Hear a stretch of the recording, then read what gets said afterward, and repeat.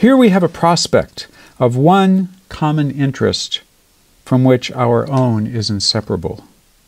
That to turn all the treasures we possess into the channels of universal love becomes the business of our lives.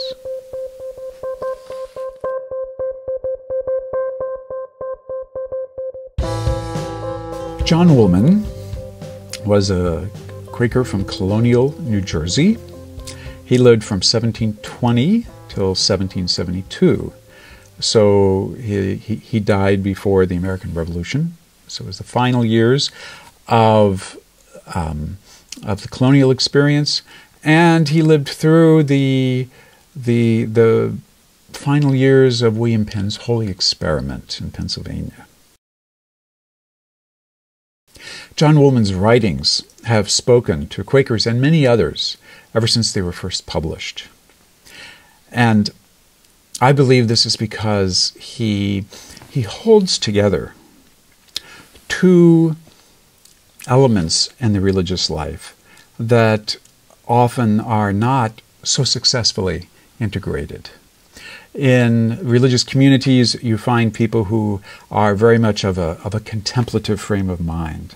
Their inclination is toward prayer, toward meditation, toward exploring the inward dimensions of life. And then in religious communities, you also find people whose energy is drawn toward remaking the world, reforming society, um, promoting a better, a better, more just human experience. And John Woolman held these two together. He didn't make a choice uh, between them. He integrated the two. Um, he uh, he was on the one hand a very uh, a very mystical kind of person, felt a tremendous sense of, of, of nearness and intimacy with the divine, and at the same time he gave decades of his life to reforming human society. His concerns for social reform began with the issue of slavery in his day.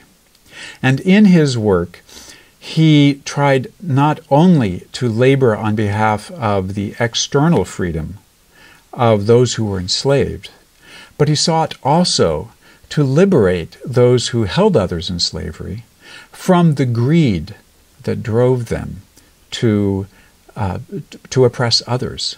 So he wanted to liberate both the, the enslaved and the slaveholders. From that issue, he came to um, his his concern for the world came to embrace also uh, the the plight of uh, the native peoples of North America who were, were mistreated by many of the English colonists. And he also came to be quite concerned for the poor among, among the English colonists themselves.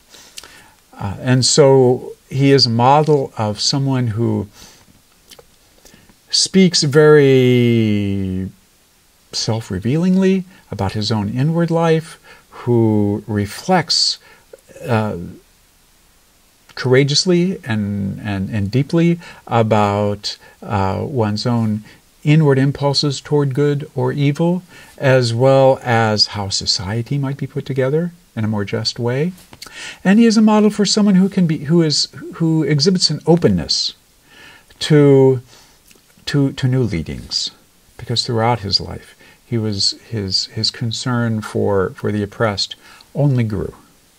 And so what I find in the in the words of John Woolman is an invitation, an invitation for those who are of a contemplative bent to embrace the life of an activist, and for those who are who lean more toward the the activist side of the of the religious life to cultivate uh, their own inward experience.